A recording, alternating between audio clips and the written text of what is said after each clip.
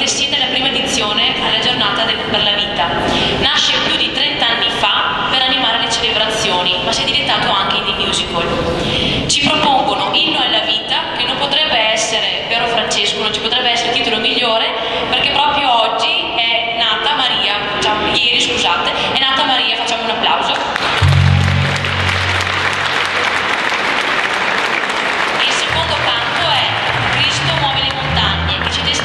forza di Cristo, dirige Francesco Occhi.